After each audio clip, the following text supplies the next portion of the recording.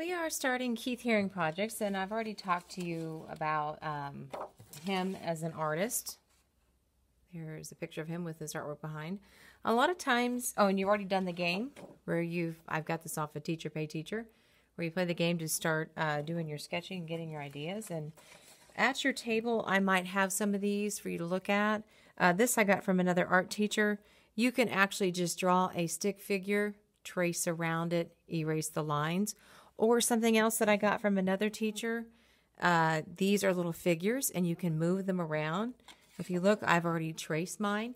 If you do trace it, it will be a lot bigger. And if you want to just draw a stick figure on a blank piece of paper, you can. If you notice, artists, these are primary colors. So I'm using uh, purple and yellow. And I have a black background because a lot of his work was done in the subway. And um, I've got this all set up. When you're tracing these, you want to be very careful. They're laminated, so I'll be able to use them over and over, but they kind of move. And when you glue these down, you always want to have the pencil lines down. It's kind of like for the big project that I'm doing with fourth grade. If it's not exactly right, that's okay. You're just going to outline and then you can erase it and fix it. When you cut it, you can also fix it. See how it's moving a little bit because it's got the brads. Uh, so that I want you then to be able to move so you can think of how a figure and a human actually moves. So if I take this away, you can see where I didn't finish the head. I'm going to go ahead and finish the head. So I might be pausing and stopping this video. When you cut artist, I want you to remember that you go right on that line. You nibble, nibble, nibble.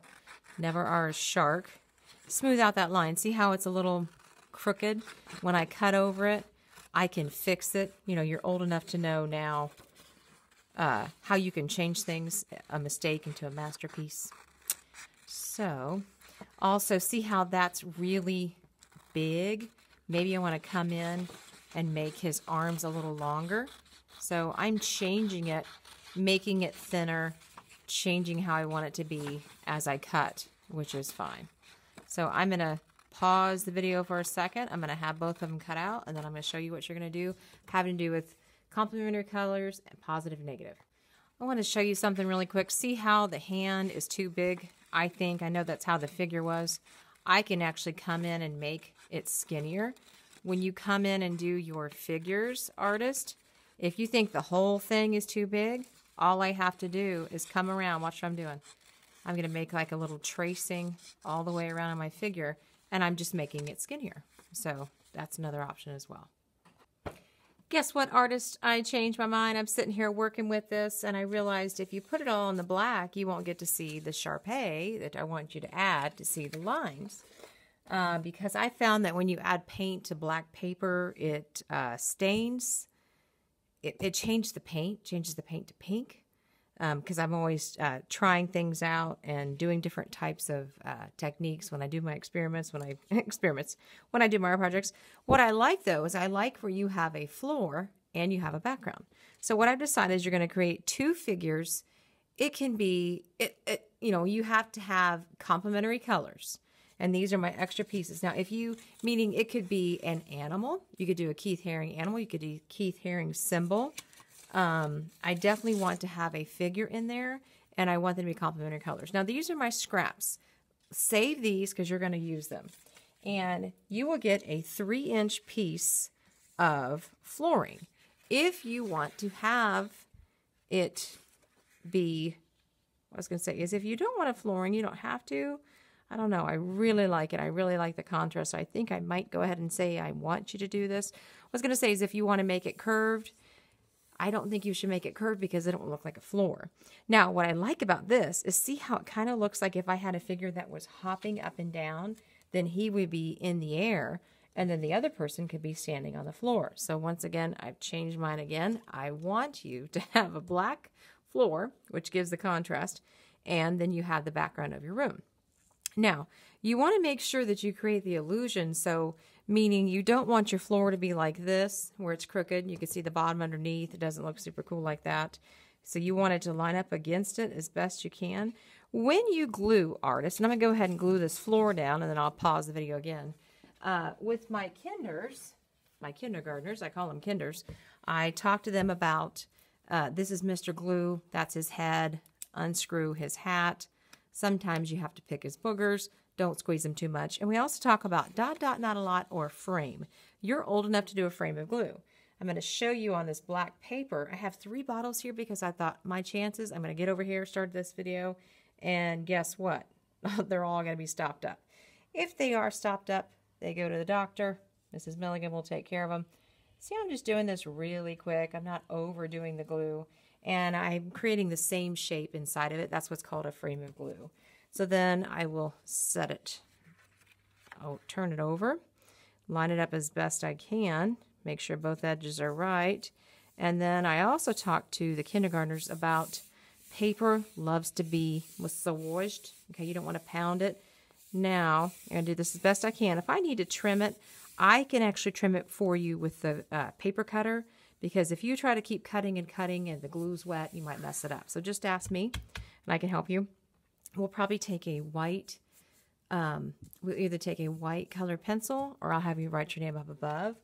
I'm going to pause the video and lay this out, kind of think about what I want my scene to look like, and then I'll be back. I'm going to show you really quick. I'm going to use my scraps that are from my um, figures that I made. I drew it on top. I'm going to set both pieces of paper together. Uh, you might be talented enough to do this. This is what I typically do. Hold it on really tight. Take your time. See how I'm very carefully making sure this paper is not moving. And then you could actually, this might be easier too. Cut out all those little extra pieces of scrap. And then, artist, you can go back in and add detail with your Sharpie, which is just a Sharpie. Remember, we're fancy though in art class. And this is the uh, Keith Haring dog. Let me see if I can show you. I think you can see it right there, the picture. I'm looking up in my camera. I can check it out. So watch what I'm going to do with these. Now, I know you're thinking, wait a minute, you just have the head. Well, as an artist, you can create the illusion by just showing some of it. If I can get them unstuck, now I have two dog heads. And maybe my dogs, I want to put the yellow one over here. My dogs are entering into the room and you only see their heads. So now I'm going to have to move this figure out. Maybe he's laying on the floor. Or you can get another piece of paper and show where you're, get a bigger dog. Or you could use any of these symbols that we had from the game that we did. I wanted to show you how I have the frame of glue around my figure. Uh, plan out before because once, now see how I've got some over here and some over here, you want it to be balanced. So I wouldn't want to get them really close. Uh, maybe I want him, I like this because see how it takes up this whole area. Then I just rub my fingers around. If we get glue on our hands, I tell my kinders, once again, it's no big deal. Just rub your fingers together. It's like magic. Uh, now what you're going to do next, artist, is you're going to take your Sharpie and where it's white, you're going to add an outline. You will not need to add an outline over here, but once again, like I said, you could add your detail using the Sharpie as long as this isn't wet. And I like the opposite where I have um, the uh, where they're facing opposite, but they're also uh, it's purple and then yellow complementary colors. So what I was trying to say is you're going to go in around right on that edge. I'm going to lift up the paper here in just a second. You don't want to leave any white spaces on this. There you go. Can you see it? And then when I get to the black paper, I can stop and I don't have to outline it. And you want to make sure that you don't get it on your figure here. Uh, there was one, couple, oh, he's also known for these little movement marks. So you want to add those to your pictures as well. I want to show you the last part. Um, I did not think this through. I went ahead and put my name up top, but I want to show you where I made a mistake. For if you want to add other things with your scrap, um, I want to have the contrast, the opposite, where this side is purple, and I want to have a yellow sun. The problem is I have my name already there. So when you look at my example in the classroom artist, you might be able to see my name underneath. But if I wouldn't have told you this, maybe you would know it wasn't there. Oops, sorry, I didn't mean to bump my camera. And then I took a scrap, and what is the, I'm all about opposites here. Then I have my moon on the other side. I'm going to place my moon over here. And then to me, the uh, picture looks balanced. I'll count to 10, massage it, make sure it's good. I've taken my black Sharpie. You want to make sure that it's dry. See this other little mistake here, my glue wasn't dry and I got too close to it and I messed up the Sharpie and it made it kind of like dry out here. So I like to point out the mistakes that I make so you don't make those mistakes as well.